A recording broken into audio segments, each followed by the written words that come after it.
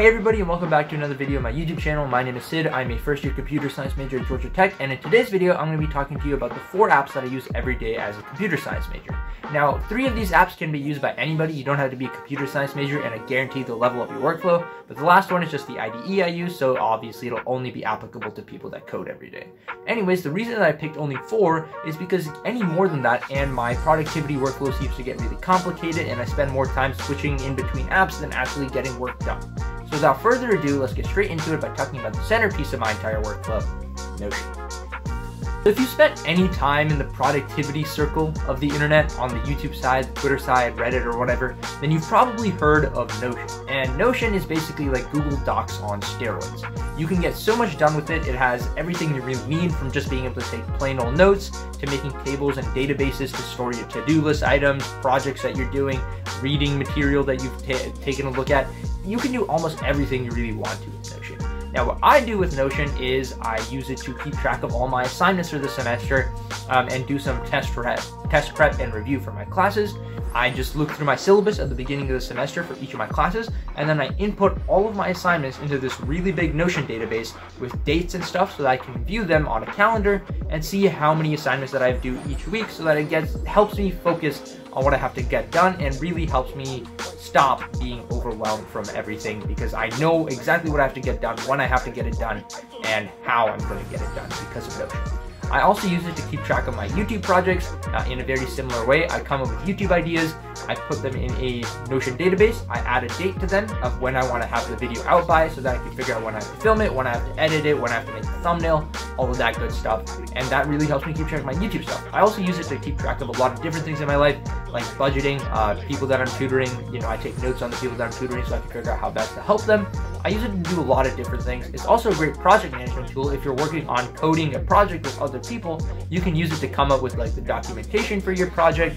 You can use it to add useful links so that everybody in your team has access to everything at once. You can use it to do a lot of awesome things. And if you want to learn more about Notion, I'll be making a video later called How I Organize My Productivity Life in 2022 as a CS major, and I'll just be talking about how I use Notion along with this other app, Obsidian, which is up next, to actually get work done, and I'll go into a much more detailed explanation of my workflow then. So without further ado, let's get into Obsidian. So this nice app that you see in the background behind me is Obsidian, and it's basically what I use for everything that I don't do in Notion. Now, one thing that I don't do in Notion, and this is really important, is take notes. And that's because Notion, as good as it is for project management and keeping track of to-do list items and such, I just don't find it very great to take notes with just because it's kind of slow, to be honest. Like, sometimes it takes time to load up. If you're using it on your phone, it takes time to load up. And Obsidian is a lot better as a note-taking app. Basically what it is, is it just opens up a text file for you and you just start taking notes.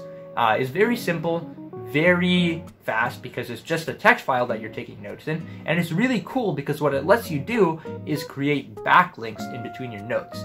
So it lets you connect your notes so that you can see how your like past lectures match up with your new lectures so that you can make connections in between them. And then you can view them on a graph view that looks something like this.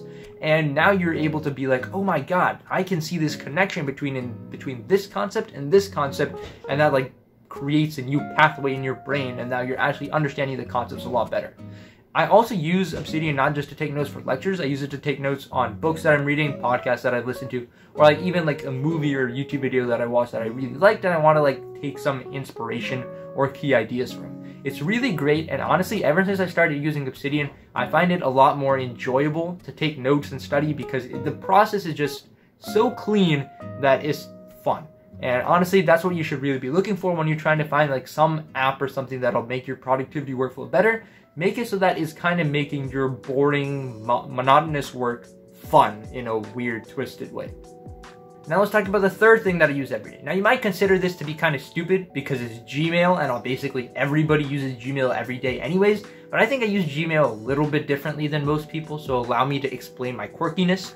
Uh, basically, the way I use Gmail is once I get an email, I will either immediately act on it and then archive it or delete it so that there's nothing in my inbox, or I'll leave it in my inbox to be taken care of later, or just archive it into a into the right folder to be taken care of. The way I treat my Gmail is kind of as something that should have zero emails in it at all times. My inbox should my inbox should be empty at all times.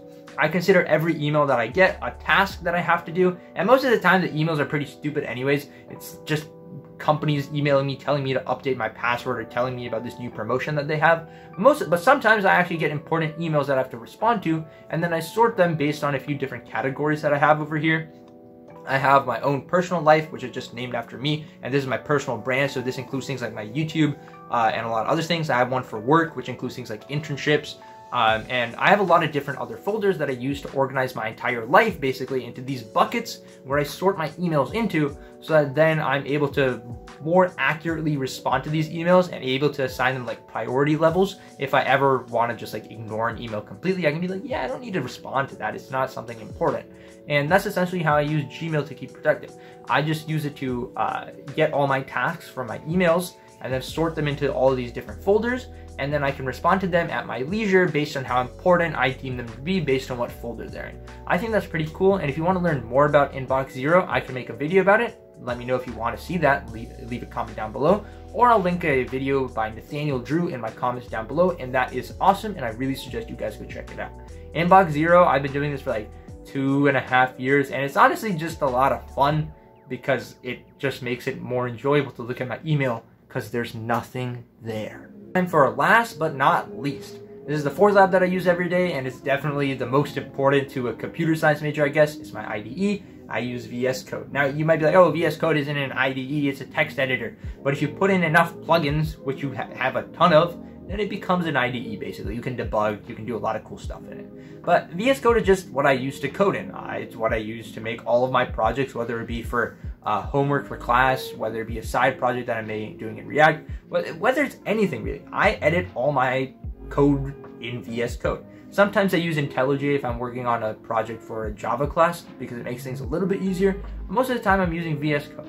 And honestly, if you're watching this video and you've been coding for a while, you also probably already use, use VS Code. I think it's the most popular, one of the most popular text editors that there is for coders, and that's for a reason. It's lightweight, it's really fast, it has a lot of great plugins that you can use to do everything that you could do in a full-fledged IDE.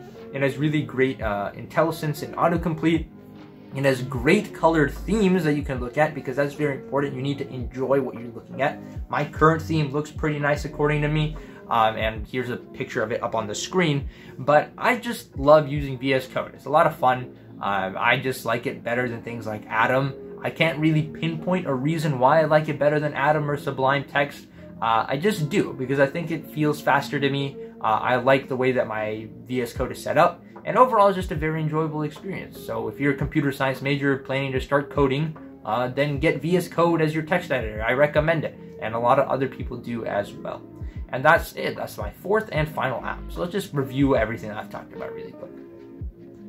So first of all, those are the four apps that I use. These are the four apps that I use every day as a computer science major. As you can see, nothing crazy. You've probably heard of mostly all of these before. And if you want like a more detailed explanation of how I use Obsidian and Notion especially, I have two videos up already uh, on my YouTube channel. I'll leave links to them in the description down below. And you should also see one of them up here in the corner. But my workflow is updated a lot since then, so I'll be posting a new one uh, sometime next week. So if you want to see that, hit that subscribe button. But anyways, these four apps are what I use, and what you use can be very different. But what I want you to take away from this video is that regardless of what you use, the end goal of your productivity workflow should be to make your work uh, seem less like work so that you're able to get it done quickly. And, you know, that might seem a little bit weird um, because, you know, at the end of the day, work isn't meant to be fun, uh, at least the work that you get in school. But it's best to try and make it as fun as possible so you can get through the drudgery as quick as possible. And another thing is that, you know, you aren't using your productivity workflow just for school or like your job that you hate. You're using it, you can use it for things that you actually enjoy doing, like making videos, writing stories, whatever. You can use it so that it makes it easier for you to do things. And the best way to do that is by using a simple workflow like I showed in this video.